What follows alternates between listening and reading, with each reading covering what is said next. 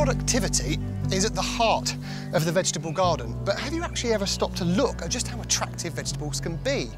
Here, we've got beetroot Boltardy, a classic, but just look at those lovely blood red stems and green leaves, fantastic. And then in front, we've got bright light Swiss chard with yellow stems, white stems and orange stems, a real technicolor dream coat of a plant. So, if we think about veg like this, there is a world of planting opportunities.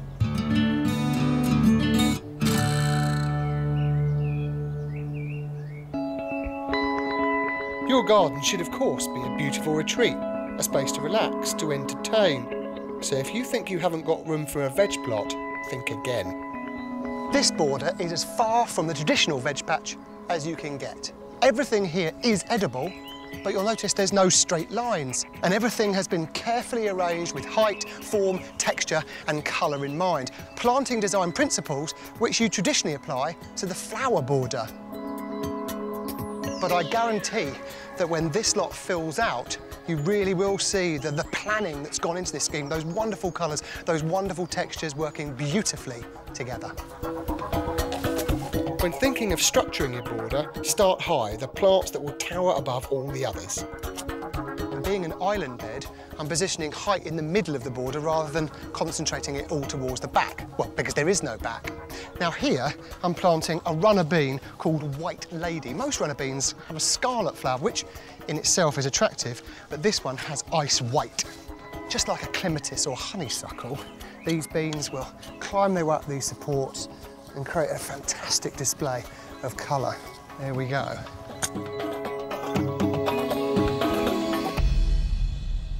But white flowered runner beans isn't the only climber that I've got in this border. Next door, going up that metal obelisk, is a borlotti bean, and this one has got pink and white pods. And then last, but definitely not least, growing up my woven willow obelisk, I've got a climbing French bean called Purple Teepee, and yes, you've guessed it, it's got purple pods. Throughout the border, I'm planting these, one of my, my favourite vegetables. This is a globe artichoke. It may not look like much now, but this plant is a whopper and grows to a towering two metres or more, and it has these huge, jagged, silvery leaves. For the next layer down, you want some mid-height plants. I have to point this one out to you because broad beans are one of my favourite veg and sautéed in butter, oh, absolutely delicious.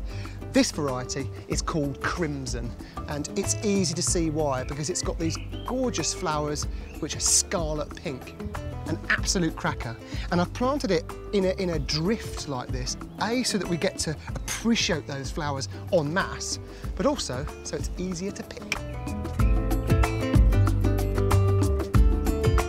This one at the back here is called Spinach Ready.